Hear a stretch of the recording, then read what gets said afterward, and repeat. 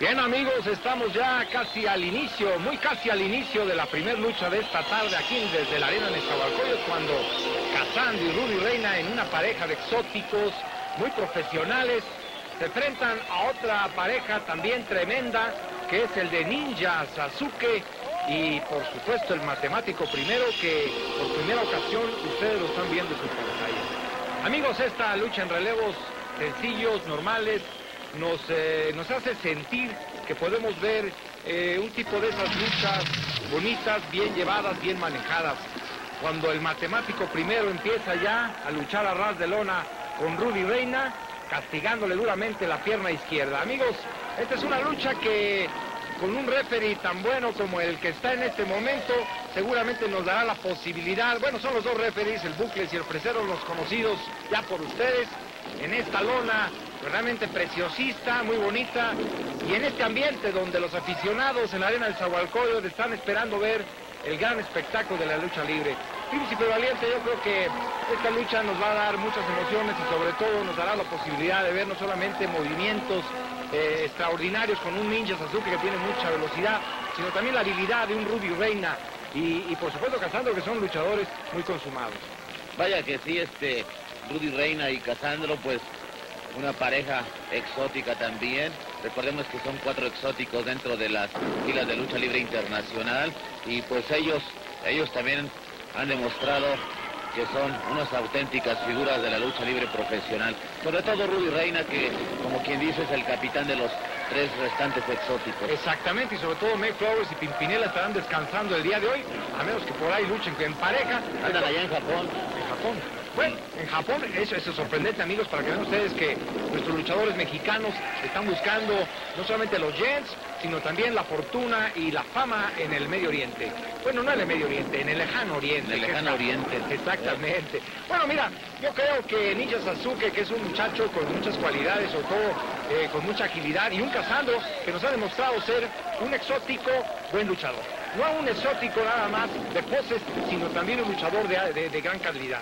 Pero ustedes ahora la manera como que Ninja Sasuke se está enfrentando aquí a Cazando, de poder a poder, y amigos, eh, ciertamente eh, seguiremos insistiendo con esta lucha de libre de calidad que les traemos solamente desde la arena de Nezahualcóyotl, como usted bueno, pues y también tendremos oportunidad, Príncipe Valiente, de estar en otros lugares como ya lo hemos reiterado. Así es, pues estamos en la hora mágica de la lucha libre profesional. Hoy sábado, pues a partir de las 14.30 horas, con, los, con las auténticas figuras de la lucha libre profesional de la UWA. Ahí es ahora Casandro. Casandro de Ciudad Juárez está tratando de derribar a Ninja Suzuki. Ninja Suzuki que pues está restablecido ya de, de que se quebró la, la clavícula. Entrenando, fíjense amigos nuestros, para que vean que pues todos los luchadores se preparan en el gimnasio y pues se retiró un tiempo Ninja Suzuki ya que se le quebró la clavícula entrenando con el gran campeón mundial de peso ligero de la UWA, Láser, ahí con, con un puente, ambos luchadores pues están cacheteando amigos nuestros, no, no, no les gusta verse frente a frente. Y Casandro vuelve la posesión inicial, pues ahí bien cabría un angelito, pero rápidamente Casandro también rompe el castigo para que Ninja Suzuki pues esté castigándolo con manita de puerco para que Casandro lo derribe con unas pinzas al oriental. El oriental se pone rápidamente de pie y dice, vaya que este Casandro pues sí sabe luchar y se retira a la esquina neutral para darle el relevo a el matemático. Ahí entra Rudy Reina. Rudy Reina pues proyecta hacia las cuerdas a Rudy García, el matemático. El matemático, como recordamos amigos nuestros, es maestro de educación física ya en la colonia Santa Fe. Ahora entre los dos rudios, rudos proyectan a las cuerdas al matemático, lo reciben con patada en el pecho para levantarlo y proyectarlo fuera del cuadrilátero. Ahí se equivoca Rudy Reina y le pega a Casandro para que el matemático entre con candado y tijera para llevarse a este par de exóticos. Entre los dos le aplican doble, doble tacle al estilo de fútbol americano. Ahí el matemático se recarga sobre las cuerdas, proyecta hacia, hacia el otro extremo de las cuerdas para fallar golpe sobre el matemático, este se plancha, empieza a correr Rudy Reina y Casandro de un extremo hacia otro, y el matemático le dice, momento, señores, espérense, y ahí se lleva el primer beso de la tarde. Rudy García, el matemático, por querer hacer travesuras con Rudy Reina. Pues sí, amigos, el primer beso de la tarde. Y la verdad, amiguitos, olvídense porque estos son simplemente artimañas de un Rudy Reina que ya se la sabe de todas y como lo agarró sorprendido, sorpresivamente más bien a don Rodolfo García, pues no sabemos qué estará pensando o cómo podrá irse corriendo al baño a lavarse la boca. Pero como sea, esto es parte, les repito, no de una, de una artimaña, no porque le guste a Rudy Reina, porque como exótico se dan esas facilidades. Ahora vamos a ver a un ninja Sasuke que acaba eh, de recibir por ahí un antebrazazo, porque sepan ustedes que además de dar cachetadas o palmaditas de este Rudy Reina, sabe golpear y sabe luchar como un verdadero maestro. Vamos a ver ahora, a pesar del tiempo ya, ahora Ninja Sasuke se lo lleva por ahí con una planchita, tremendo golpe de reversa por ahí con su pierna y Rudy Reina está casi acabado. Pues nada, dice que no me hace la repetición, una plancha pequeñita, pero suficiente y el golpazo tremendo por ahí de una patada de reversa. Amigos, las emociones están calientes ya desde esta primer lucha, desde esta primer caída, cuando Casandra y Rudy Reina están demostrándonos que son sólidos, que se están entendiendo a las mil maravillas y con estas patadas de cangrejo a Rodolfo García que perdió su máscara por allá en Monterrey ante Blue Demon. Eh, fue una confrontación de esas históricas donde Blue Demon, a pesar de la edad y todo, logró dominar este matemático primero dueño de una dinastía de matemáticos, ahora una creación de Rodolfo García el matemático.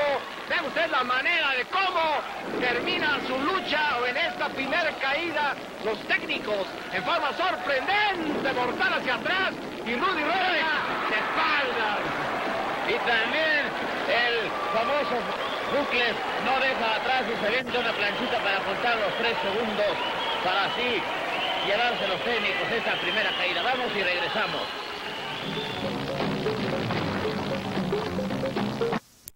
Bueno amigos, este, fíjate que te voy a comentar, este, Príncipe Valiente, esta llave que realizó para terminar la, caída el matemático, mientras estamos viendo una evolución muy bonita por Ninja Sasuke, es creación de él, se la había atribuido por ahí otro luchador muy bueno, el chamaco Balagués, y le llamaba un poco la Balaguesa o algo así por el estilo, y no, esta es creación del matemático de don Rodolfo García, es un luchador de mucho tiempo y como te digo, de dueño de una gran dinastía porque además tiene hijos, ¿no? Vaya que sí, recordamos a Rudy García, el matemático, pues primer campeón mundial de peso ligero de la UWA que disfrutó o que se jugó allá en Monterrey, Nuevo León, cuando el hoy este, descanse en paz, perdón, René Guajardo organizaba las funciones de lucha libre profesional. Él fue el que organizó el primer, la primera eliminatoria de campeonato mundial de peso ligero de la UWA y este matemático pues se quedó con el campeonato. Tienes razón. Allá, allá en Monterrey, Nuevo León. Además te voy a decir una cosa, Príncipe Valiente, amigos. Eh, matemático es dueño de una, de, bueno, cuando tenía máscara, porque ahora ya ha cambiado un poco su personalidad, pero tenía, era dueño de un, de un carisma muy especial ante la gente, ¿no? Además de sus evoluciones tan espectaculares y uno de los pioneros de, esas evoluciones junto con luchadores tan importantes como Estrella Blanca, por ejemplo, tú te acordarás. También un gran maestro de la lucha libre profesional. Pero aquí podemos ver, amigos nuestros, que la lucha libre profesional conserva pues al ser humano como pues todo con mucha juventud porque pues yo sigo viendo a Rudy García pues totalmente joven, no pasan los años por él. En la lucha libre es un deporte que conserva pues al hombre física y mentalmente, pues no al 100%, pero sí bastante mejor que pues otros deportes. Ahí es ahora Casandro que con una guillotina está castigando a Niña Suzuki. Niña Suzuki se duele por la tremenda, por el tremendo patadón recibido por el exótico de Juárez. Casandro lo proyecta hacia la espalda. Rudy Reina recibe con golpe en el pecho y vuelve ahora, pero a planchar Casandro a Ninja Suzuki. Estos rudos empiezan a carburar lentamente. Ahí vemos cómo como Rudy Reina lo levanta, Niña Suzuki lo levanta y le ahora en lugar de darle un beso le da un cabezazo que yo creo que mejor Niña Suzuki hubiera preferido el beso al cabezazo en el pómulo, en el pómulo izquierdo porque lo proyectó fuera del cuadrilátero, ahí entre los dos rudos. Ahora le pica los ojos Rudy Reina el matemático y lo golpea en el abdomen. Ahí el matemático se duele y se sigue doliendo por las patadas de Casandro, los golpes de Casandro. Y vaya que Casandro, un peso fue ligero welter, no se deja apantallar por el campeón mundial de peso ligero de la UWA. Aquí nada, dice Casandra, aquí nada de clases, aquí las clases las doy yo y se va ahora también sobre Ninja Suzuki que lo proyecta hacia las cuerdas. Con patada de reversa también castiga al oriental y el oriental se duele, ahí se enfrentan al público, el público, pues uno les aplaude, otro le chiflan, porque hay que recordar que los exóticos tienen público de ambos lados ya sea que le chiflen o les aplaudan, porque pues estilo es muy particular y gusta a la gente. Sí les gusta, Príncipe Valiente y amigos. Estamos viendo una reacción tremenda aquí ya de los rudos, porque también tienen un, sobre todo Rubio Reina, tiene un colmillo retorcido, de un luchador que ha tenido mil batallas, y un Casandro que ha sido un buen alumno en la lucha libre mexicana. Les repito, yo siento que es uno de los mejores luchadores en el nivel exótico que tenemos en México. Y ahora, tremendo, tremendo ha sido la manera como están derrotando en esta segunda caída ahí a Ninja Sasuke. Es Sasuke, este príncipe valiente. Yo no sé si es Sasuke Sasuke, por lo pronto es Ninja. Allá, comentando con él alguna vez que le disputó el campeonato mundial de peso, de peso de peso welter a negro Casas, conocía que era Ninja Suzuki. Bueno, bueno, sí, Ahí vamos a, ver mejor el final para, ver cómo los, los rudos rápidamente terminan con los, con los técnicos y vamos y regresamos rápidamente.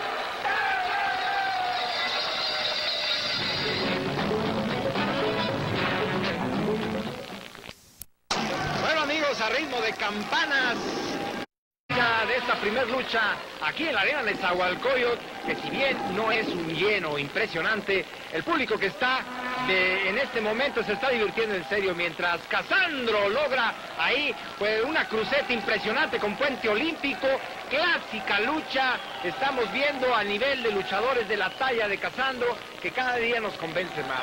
El matemático está reaccionando, tratando de reaccionar, a mí se me hace que esta pareja de rudos está muy difícil, siento yo que hay una cierta descoordinación entre el matemático primero y por supuesto Ninja Sasuke, que como decías, ciertamente Príncipe Valiente, como ha estado lastimado, le cuesta mucho trabajo pues, recobrarse anímicamente de ello. Mientras está realizando por ahí un castigo a los brazos matemáticos, Ninja Sasuke empieza a dar patadas tipo karate y ven ustedes la manera tan precisa como Ninja está logrando sacar del cuadrilátero a Rudy Reina. Muy difícil, muy pareja ha sido esta lucha, aunque siento yo que hay una cierta ventaja por parte de los rudos, que, eh, ¿por qué? Porque están estableciendo una estrategia ya muy bien ordenada, sin embargo Ninja está buscando individualmente, ahora le está realizando una tabla marina, que es una, pues una tensión de los brazos, una manera muy clásica de buscar llaves tan importantes como esa.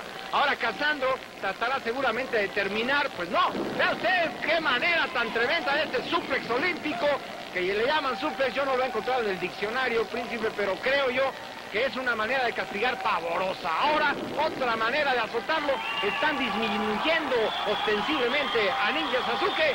Y vamos a ver este mortal de Cazando. Pues le falló y creo yo que aquí puede ser algo muy importante la oportunidad de Ninja y de Matemático de recobrarse en esta tercera caída. Vamos a ver cómo surge. Bien, usted la patada, este príncipe. Creo que, es importante. atrás, perdón, adelante. Al inicio de, de la, de la transmisión estamos platicando que hacía falta en la lucha libre variación de llaves y en esta lucha tal parece que los, los señores luchadores que nos escucharon porque ha habido mucha variación de llaves que no hemos visto en, otras ocasiones. No, tienes razón, príncipe. Yo, yo me da mucho gusto porque en los relevos sencillos como estos nos dan la oportunidad de que ellos se forzan además para realizar llaves. Los castigos, que son lógicos tanto a la pierna como a los brazos como a la cabeza, son la, base complementaria de una llave bien realizada. Ahora este medio cangrejo, bien realizado por el matemático. Y amigos, eh, Rudy Reina estará sintiendo un dolor impresionante, no solamente en la pierna, en la espalda y en el brazo. Eso es importante porque nuestros amigos siguen viendo la lucha libre de calidad. Yo creo que el día que no lo hagan nos va a dar vergüenza decir que estamos frente a la mejor lucha libre de calidad de la televisión mexicana. Vaya que sí, la de la UWA y entra Ninja Suzuki y rompe el castigo, se va sobre Casandro y Casandro recibe pues un cabezazo por parte del oriental. El oriental lo levanta, lo vuelve lo iba a querer castigar de la misma manera, pero reacciona Casandro para llevárselo con una yegua, se lo pone a Rudy Reina, Rudy, Rudy Reina lo sube hasta la tercera cuerda. Bueno, eso no se vale, ayudándole hasta el tercero a subirse hasta la tercera cuerda y se lanza con una plancha para planchar al oriental y dejarlo fuera de combate. Este, esto es un 5 para el fresero, como que ayudándole a, Rudy Reina a subirse a la tercera cuerda. La verdad, la verdad, príncipe, después de esa pues eh, palomita coqueta de Rudy Reina, estamos viendo cómo la coordinación... ¡Qué buenas patadas de canguro por parte de Casandro para así eliminar también al matemático y llevarse esta tercera caída. Vaya que pues, el fresero, ahí está, ahí está una vez más. Bueno, vamos a ver la repetición, amigos. Vean la manera de ver esta palomita coqueta. Suficiente para terminar. Regresamos, amigos, de inmediato. Thank you.